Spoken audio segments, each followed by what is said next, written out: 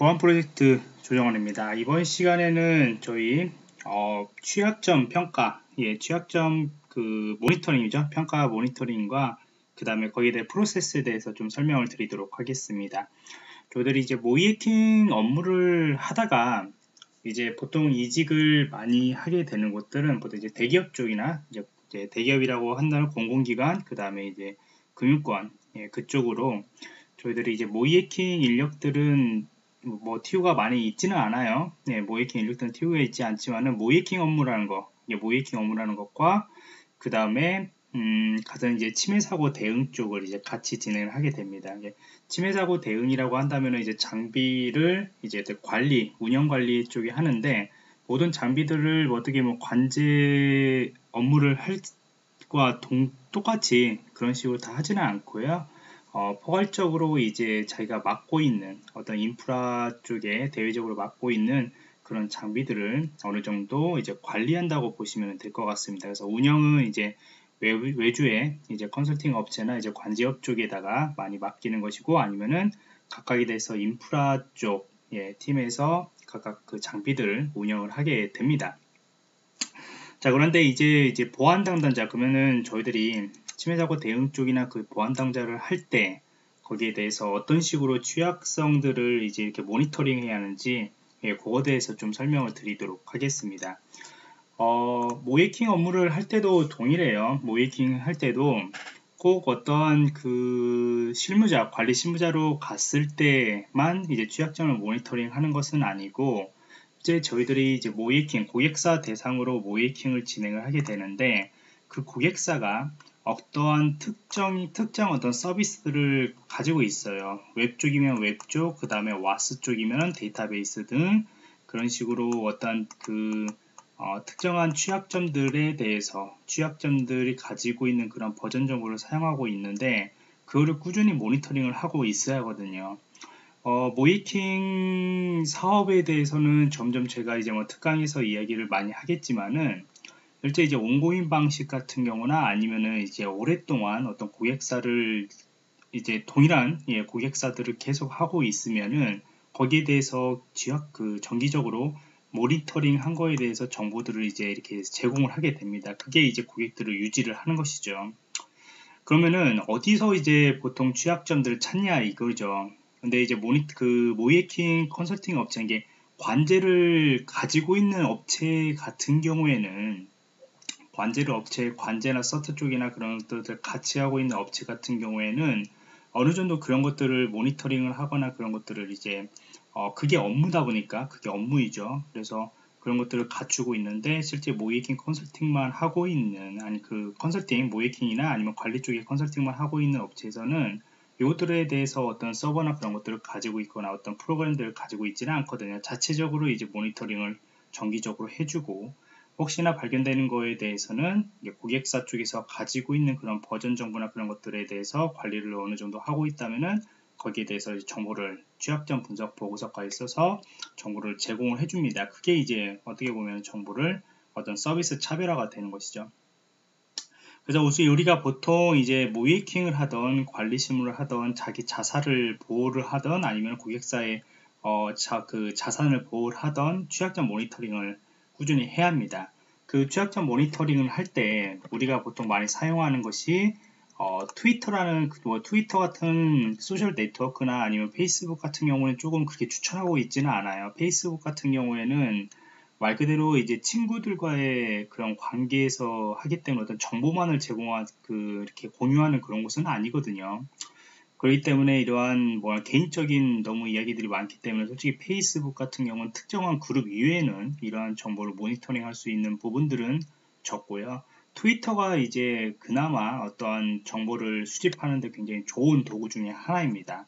그래서 여러분들이 어 정말로 어떤 전문가의 트위터를 계속 모니터링하고 싶다 그러면은 이런 식으로 계속 팔로우를 해주면서 아니면 혹시 검색을 함으로써 어, 떠한그 어, 모니터링을 하게 되는 것이죠. 그래서 이런 것들을 시간별로 체크, 기간별로 체크를 해서 모니터링해서 어떤 혹시나 심각한 취약점들이 나오면은 관련된 것들을 이제 데이터베이스, 이스포리트 데이터베이스나 기타 어떤 이스포리트가 가지고 있는 부분들 혹은 취약점, 취약성을 평가를 관리하고 있는 이러한 기관들을 통해 가지고 저희들이 그러한 취약점들에 대해서 어, 확인을 하게 됩니다. 그래서 이런 것들을 계속 지속적으로 저희들이 모니터링을 하고 그 다음에 분석을 하고 실제적으로 어떤 코드들이 고객사 서비스에 관련되어 있는지 그리고 그 코드들이 어, 실제 공격이 이제 들어오잖아요. 그래서 우리가 공격 코드들이 들어오면은 IDS, IPS 장비 쪽에서 차단하는 그런 룰 같은 경우에도 같이 어, 검색을 해줘가지고 고객사한테 제공을 하고 이런 것들을 이제 우리가 보안 활동이라고 하는 겁니다. 고객 그 자격 관리 실무 실질적으로 자사 서비스를 모니터링하고 있다면 이거는 정말로 매일 해줘야 하는 겁니다. 이거는 하루도 빠짐없이 모니터링을 계속 하고 자기가 나름대로 저러한 정보들을 어떻게 자동화 시킬 수 있는 그런 방법들. 자동화라면은 100% 자동화 할 수는 없겠죠. 저희들이 다 프로그램 하는 것도 아니고요. 하지만은 어느 정도 자기의 나름대로 아 이러한 수집 그런 노하우 같은 경우를 가지고 있다가 어, 누구보다도 더 빨리 찾아내려고 해야겠죠. 왜 그러냐면 공격은 실제적으로 굉장히 빨리 들어옵니다. 이게 빨리 들어간다는 것은 뭐냐면은 우리가 뭐 말 그대로 새벽에 딱 일어났는데 이것들이 공격이 이런 그 정보들이 트위터에 만약 한 2시간 정도 3시간 정도 노출이 되고 있었어요. 여기에 어떤 공격 코드 아파치 뭐 Struts 취약점 같은 경우나 아니면은 뭐 어, 웹의 취약점 같은 거나 그런 것들이 여기에 공격이 공격 코드가 Exploit DB나 아니면 트위터에 이제 링크를 통해 가지고 공개가 됐어요 그러면 그 공격이 얼마만큼 빨리가 들어오냐면은 아침에 그 새벽에 제가 딱 보는 순간에 아침부터 들어오기 시작해요. 그만큼 빨리 대응을 해야 합니다. 빨리 누구보다도 모니터링을 해야 하는 것이고요. 그래서 이런 것들을 자신이 이렇게 어, 모니터링 할 수 있는 어떤 그 모바일 서비스를 이용해도 되고요. 구글 알림이를 사용해도 되고 어떤 것이든 괜찮습니다. 아무튼 그거를 잘 해서 모니터링을 해줘야 한다는 것입니다. 근데 모니터링을 했는데 실제 이 공격들이 나왔어요 이제 이제 공격들이 나왔다면은 이 공격에 대해서도 저희들이 자체적으로 내부에서 이제 프로세스가 이제 돌게 되는 거죠. 그 프로세스라는 것은 각 팀마다 각 팀마다 어떤 정보들 어떤 정보들을 내가 획득을 했어요. 그러면은 이 정보를 획득을 한 것을 정보보호팀 이게 내가 내가 지금 현재 어, 있는 수록되어 있는 그 팀에서만 이거를 대응을 하는 것은 아니거든요. 그 정보보호팀이라는 것은 말 그대로 취약한 것에 대해서 취약성을 평가를 하고 거기에 대해서 각 팀마다 가지고 있는 운영팀하고 개발팀 등등 담당 부서들 또 개인정보와 관련된 것들이면 개인정보 팀들에 대해서도 그 다음 법적인 부분들도 다 이제 모여가지고 어 이렇게 대응을 해야 하는 것이거든요. 혹시 이슈가 있으면요. 그래서 그런 것들에 대해서 확실하게 조직 간에 대해서 협업을 할 수 있도록 이러한 프로세스들을 갖춰야 한다는 겁니다. 요것들은 관리 실무뿐만 아니고 모이킹 할 때도 이런 가이드를 어느 정도 제시를 해줘야 돼요. 그게 이제 컨설턴트라는 것이죠. 그래서 다시 정리를 하면은 이런 동향 파악 같은 거는 여러분들의 업무가 될 겁니다. 여러분들의 업무가 되는 것이고요. 거기에 대해서 대응 가이드 작성해주고 그 다음에 고객사한테 제공을 해주는 것도 여러분들의 업무가 될 수도 있고 아니면 고객사에서 직접 어느 정도 가이드를 또 어, 각각의 팀들에 전달을 하는 것이죠. 그래서 1번과 2번과 1, 2번과 3번, 4번 정도 이것이 굉장히 빠르게 이제 움직이게 되는 겁니다. 굉장히 빠르게요. 그러니까 새벽에 만약 이것들을 발견했으면은 오전 내에 점심이 지나기 전까지는 이런 것들이 빠르게 가이드가 제공이 돼 가지고 각각 운영팀에다가 전파를 하는 것이죠.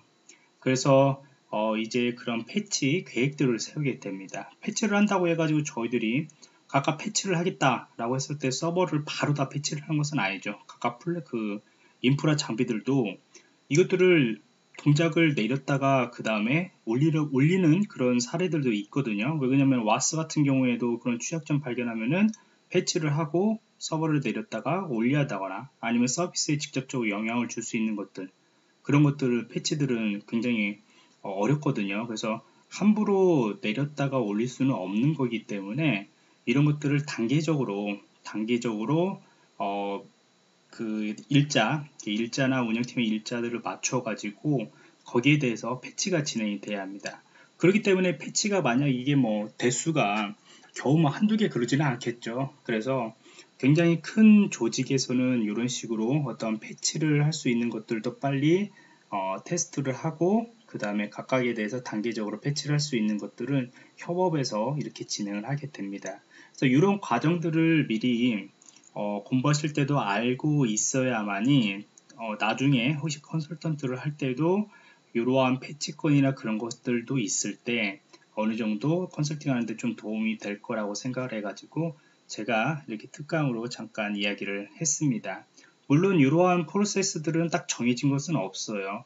각각의 회사마다 다른 것이고 또 어떤 회사들은 이것들이 각각의 솔루션에 다 이제 통합이 돼 가지고 빠르게 대처할 수 있는 그런 것들이 만들어진 경우들도 있고요. 하지만 모든 것이 다 그렇지는 않거든요. 그리고 이런 조직 간의 협업 프로세스도 없는 경우들도 많이 있고요. 이게 모든 것들 다 보안 담당자가 책임질 수 있는 그런 롤이 발생할 수도 있거든요. 그래서 이런 것들을 한 번씩 조금 실무적으로 여러분들이 잘 이해를 하셔야만이 학습할 때도 큰 도움이 되실 거라고 어, 생각을 합니다. 그래서 이번 강의는 이러한 취약점 모니터링과 프로세스에 대해서 간단히 설명을 드렸습니다.